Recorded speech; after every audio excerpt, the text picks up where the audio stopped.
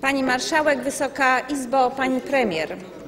Polska edukacja za czasów rządu PO-PSL stała się chłopcem do bicia. Pytanie, za co ta kara, za co te siłowo wprowadzane pseudoreformy, te szkodliwe eksperymenty pedagogiczne, za co przymusowe wcielenie sześcioletnich dzieci do nieprzygotowanych szkół, zamontowanie liceów, zamykanie setek szkół, wysyłanie tysięcy, setek nauczycieli na zieloną trawkę, za co drastyczne zmniejszenie nauki historii w Polsce. Jeszcze na dodatek minister edukacji PR-owska Roskowska, która na rozkaz Tuska do tej beczki edukacyjnego dziegciu miała dodać łyżkę miodu i dodała, jak się okazało, sztucznego miodu. Mowa o tak zwanym darmowym podręczniku. To czysty nomen omen podręcznikowy chwyt propagandowy. Niechlujnie pod publiczkę przygotowany, o czym codziennie rodzice, nauczyciele, samorządowcy, a nawet wasi urzędnicy się przekonują.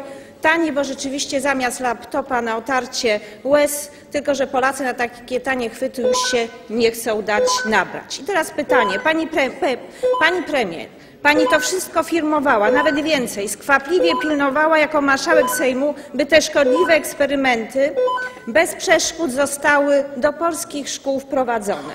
Teraz oczekuję od pani konkretów. Jakie realne, konkretne kroki zamierza pani podjąć, by nie być kolejnym w tej sztafecie prześladowcą polskiej edukacji, która nie chce być dłużej chłopcem do bicia tej władzy.